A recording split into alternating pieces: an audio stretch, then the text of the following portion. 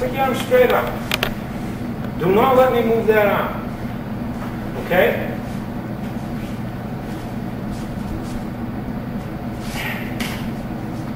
See? He's strong.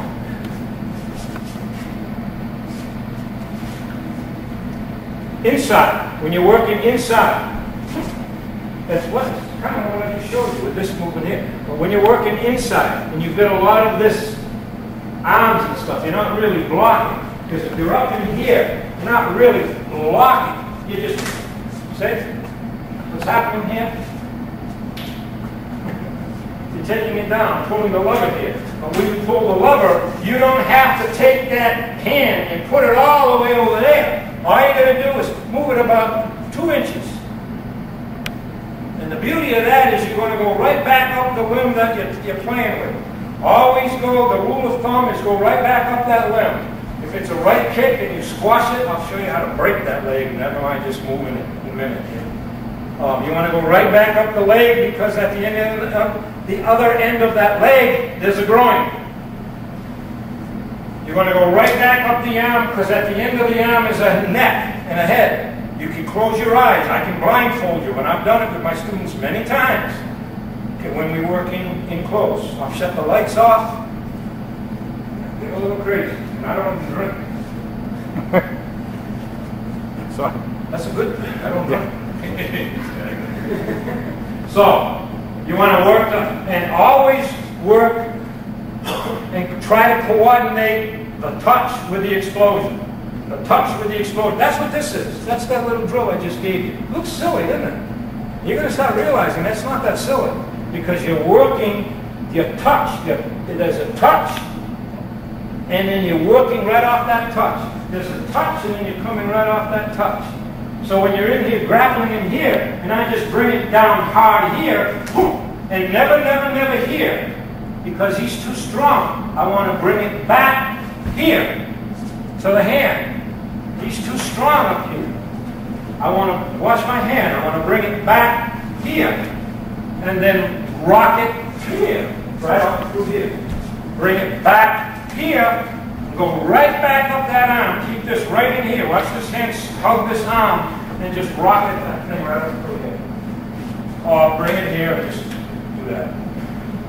The head's sitting right there. Where's he going to put his head? sitting right in front of you. Okay? As long as you stay right along the arms. I don't want to lose his arms. I don't want him flying. I want him right here. Because I'm just going to drop this side, this side of my body right here. My hand is up here. Watch where it ends up.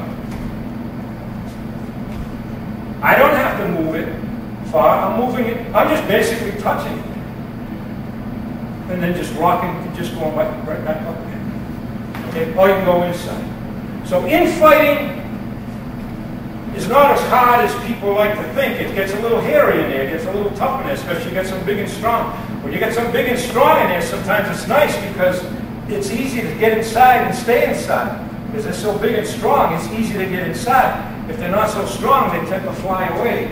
You end up chasing them. Yeah! You end, you end up chasing them like a chicken. But when they're big and strong, they'll just get right up in there and just go to sleep. Like a nest, and just work. Working inside. You want to cause as much destruction as you can, as fast as you can. You read my books, that's, that's my philosophy.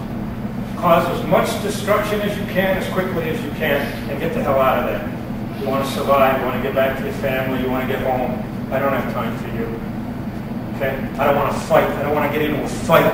I just want to destroy you and get the hell out of it. That's, that's my philosophy. Okay? So, let's work um, the stomp kick and the radius, and then we'll call it quits. This is one of my favorites. Probably my favorite if you're working in fighting. And this is great when you're working in here. Okay? When you're working in here. See, you right there. You saw it? All right, so when you're, when you're up in here and you can uh, practice this, one can do this and then the other one can do this. Okay, like I can be outside, you can be inside. Oh, the inside outside is very nice also. You can play that in your dojo too. I'll go outside, you go inside, I'll go outside, and then we'll play a little bit and then we'll reverse. I'll go inside, No, put your hands up, and I'll go inside, you go outside. And then you can play, you, you can, you learn that when you're inside, you can do this, when you're outside, you can do this, because the arms get in the way sometimes, and then you realize your arm is, his arm is your friend, you just kind of, they're just right there, it's just like a target. You just, oh, there it is, right at the end of the arm is a head. Okay, or under that arm is a, is an armpit that's very eggshell and you can keep that right in. It's very, very simple.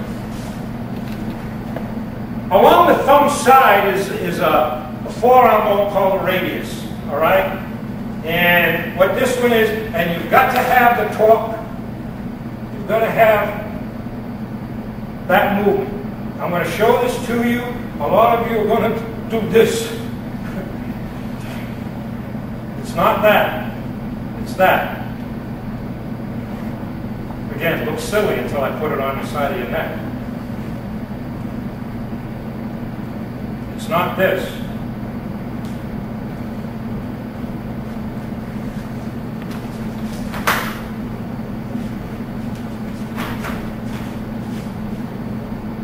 I can't hear me how to. Ask him. Can't do it. I thought if I leaned on it a little bit, he'd be in a lot of trouble. So, you're going to place your hand, place it here, and just take it off though. Take it off. Watch. Okay, you're gonna- I can't touch it. That's too pretty. So you're gonna just put it on and take it off.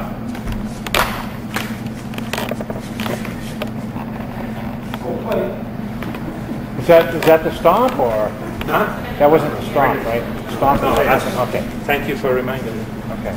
Well, you had That's something nasty. That's nasty. So, It's good. Well, you do it in the air, do it in the air. The, the secret here, if there's a secret, is to to stay, stay as limp as you can. And treat this like a whip. Because what's, what's, what you're hitting with is, uh,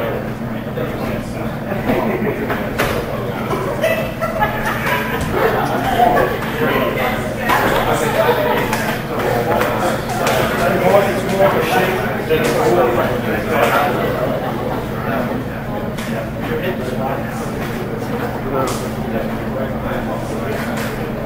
And when you lay that, when you lay your hand here, you can come up to here. so- Oh, I, I can just feel that like snap in the back of my it off. neck. I took it off fast. Right, you're going. If I didn't take it off, you- so my, And you're bringing it back as well. Yeah, but I'm bringing, you're bringing it back. back end. You're doing a two-part movement. You're gonna cross a shake and and a pull in. But, yeah, but you wanna, you wanna, you wanna do that from right here. Back deep and then bring it back and just a score, just a small. And you hit right. You kind of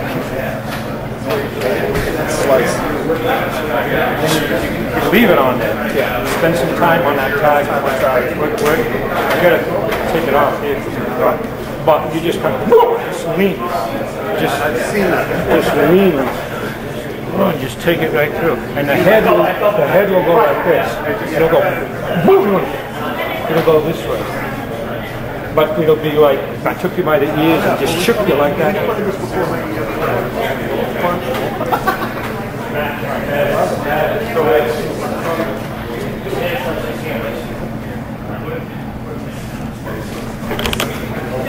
Good stuff. Stomp kick and then run out of here. He's your stop kick. Stupidest, but it's not a kick, it's a thrust. And in my book, I'll, I'll, I'll say this is the weirdest, wackiest thing I've ever seen. A Man, will tear your leg right off. Okay, and it's nasty. And this is very good when you are coming in. So this movement that I just showed you, any movement that I showed you to get yourself in, well, when I'm coming in, what do you think is coming with me down here? The stomp kick. I'll, I'll I'll demonstrate that in a second, but I'm on the bag, the heavy bag.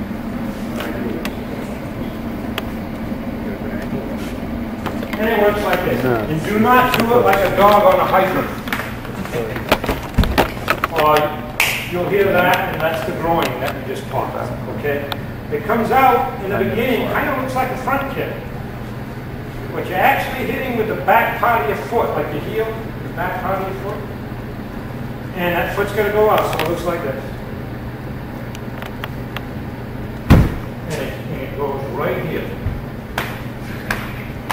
Just above the knee. Now, as I said, the knee does not bend that way.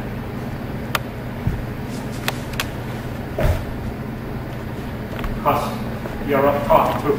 Come. That, and then you come.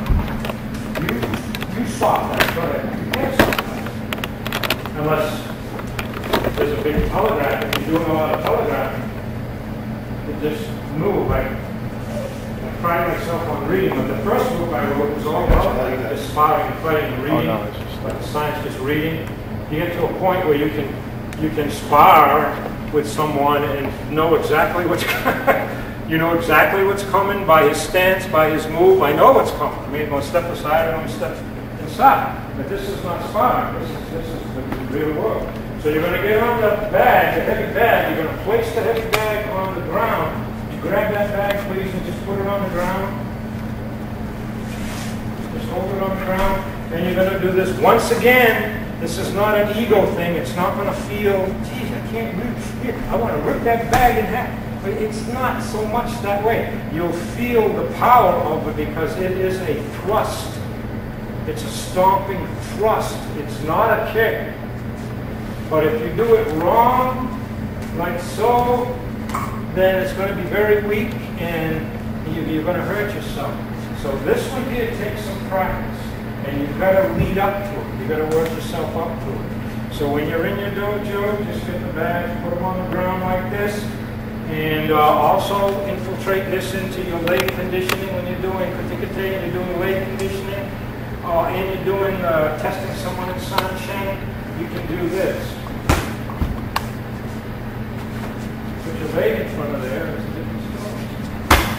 See how it hits? Simple enough, right? But this here is very important.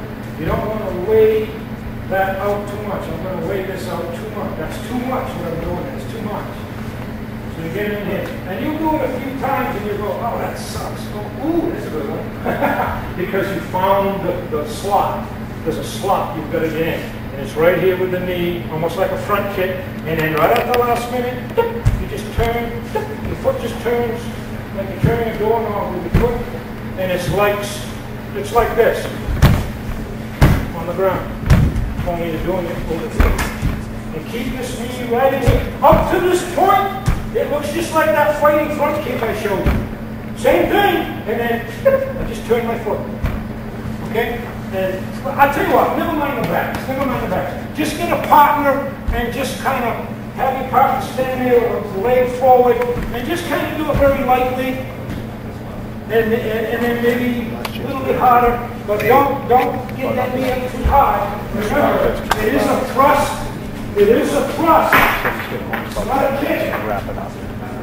I don't know, you might want to do it, uh, We're working up top now. Last one. Now, what I just showed you here, this same doing here, okay, do that with this.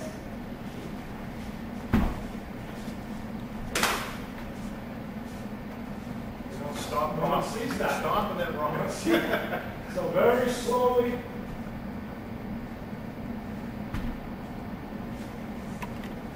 Maybe forty. Now you're comfortable with this. Make no mistake, you're flying with this. You're coming off an arc. Whoa! I'm coming as hard as I can. Here, and I'm coming here. I'm knocking these down. I'm not blocking these. I'm just knocking them out of the way. And I don't have to knock them that much. I just gotta touch it. Because I'm flying right off that. And I'm staying tight. And I'm coming in here. Boom, right in through. You see the leg on that? It does, but only so far. It's like someone grabbed you by the back of the neck in the seat of your pants and just threw you right in there. That's how hard you come with that thing. Okay, I'm done. Do you want to have an acting, uh, Have a what? speech? Little parting. Have a what?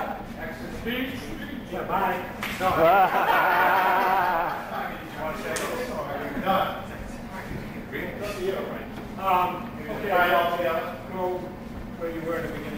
Over there, Danny.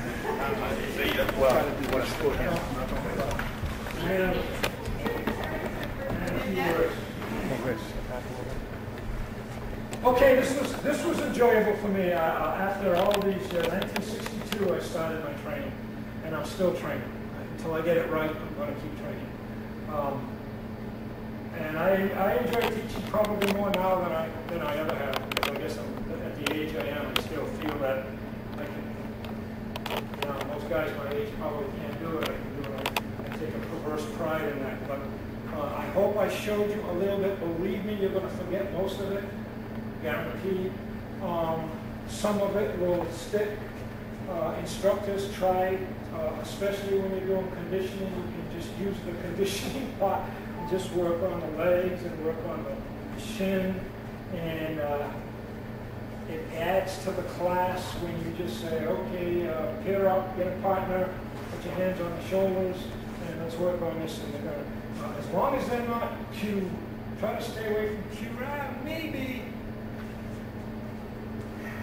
maybe an ikkyu, maybe you can, you know, that brown belt was very close to Shodan. Use your own discretion. Maybe you can show him or her a little bit of this stuff.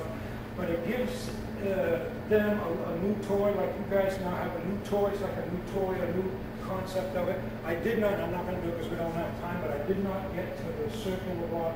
The, the circular walk, basically the way I teach it, is you actually walk into the attack, you actually walk into the punch, which is a little hairy in the beginning because you get nailed a few times until you learn it. But basically, it's the same principle, the same hand principle, and you, you, you're working it in here, you're blocking it really, you're not blocking arms and legs, you're blocking feet and hands. And you're working it in a 12 to 6, so the block really goes 12 to 6. 12 o'clock to 6 o'clock. And it's more a catch, then just a slight movement here, and then coming down and going right back up that arm. Okay, comes right out. Rather than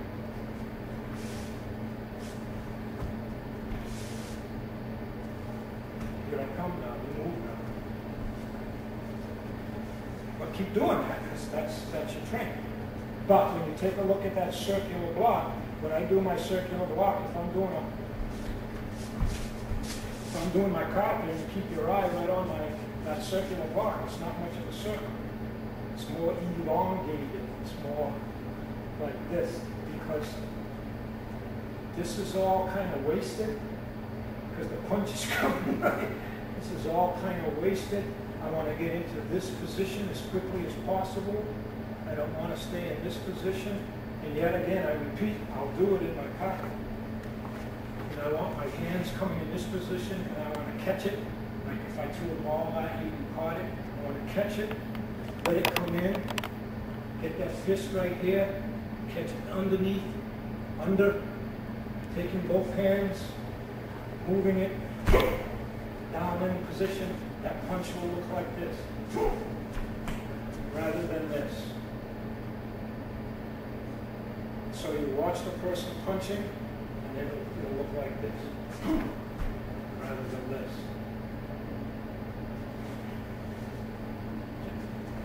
So thank you for inviting me, I enjoyed it. Uh, I didn't see anyone here who I don't think is good, they're all very, very good. As I said before, you're all getting excellent training. Rosie's dojo, Danny's dojo, already going excellent training. That's why I came up. Um, and hopefully we'll meet again and do this again, but I just barely scratched the surface of this. This is very, if you can remember only one thing, just remember the Sanchin and remember down and out. When you're moving, it's this, it's not pushing. Okay? So, Thank you, thank you, Art. Thank you.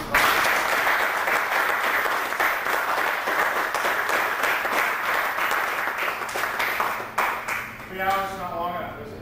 No, I, I can go all time. Well, I think he said three hours because he started, started with his voice a little bit, so. Just need a little bit of water. Yeah, I'm losing my voice. Yeah. So, uh, so I thought it was awesome. Uh, I talked to him at the graduation and kind of get- rekindle some, uh, old training he did back in the, uh, summer camp. down in Foxborough and so forth. And, uh, so I said, ah, come on up, let's do a seminar. You guys are, uh, recipients of this knowledge, which is awesome. Um, and uh, A lot of stuff in here I didn't even get to. We got any of the back of it. Those are, uh, purchased on don't- Publishing. I don't sell these, I don't, I don't, make- I don't make a nickel out of this, I don't know why. No, but they are available.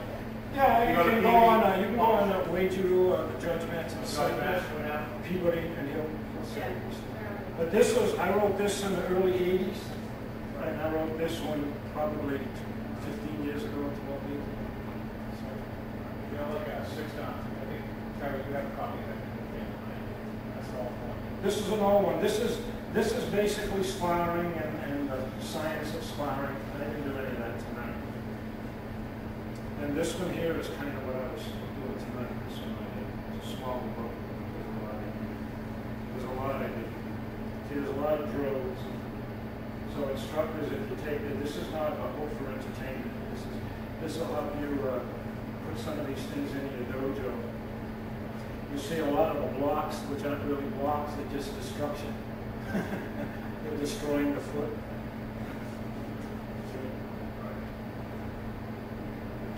Two hands that I keep talking about. Like you said, he didn't make it up. He's, you have to order from here. I was in Okinawa, I learned a couple of things. I steal. So, anybody want to do this again? Yeah. Or maybe? So maybe we have a bigger crowd, we might need a bigger dojo.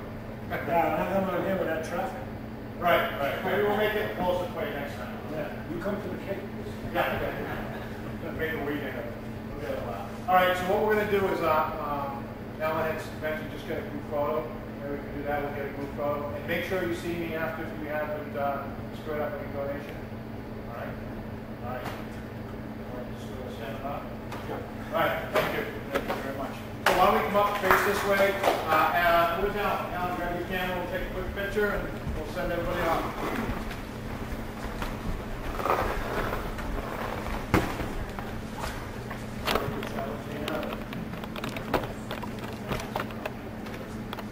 All right, uh, let me see. Oh, where's all the girls? Hop up on the stage. Might be easier.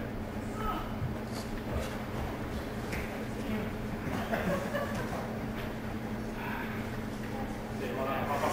I'm just trying to get some, not so. Short people? No, not, no, you're tall, but just not that tall. Yes, go down a little bit. Yeah, just be symmetrically, you wanna go right- Yeah, there we go. I like them this first. Move those guys out of the way. Yeah. Danny and Arthur, why don't you Yeah, guys, do do this move. Come on. Danny and Arthur, why don't you guys bring in the, Yeah. You want a chair? you kidding? I'm being, I'm being respectful. Not 70. Yeah, one of these. Do a nail? If you, yeah, one knee is good. One knee. Which knee? I get two knees, I never even get Which out. one's good for you? Wow.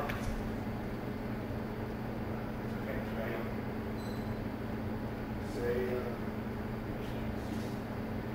one more just in case. Stop.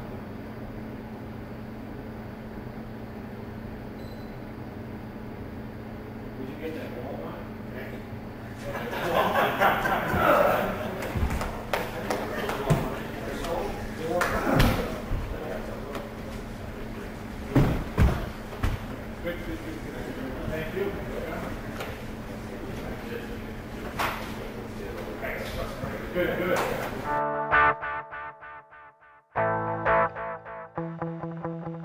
Please don't forget to like and subscribe to Live Dan D.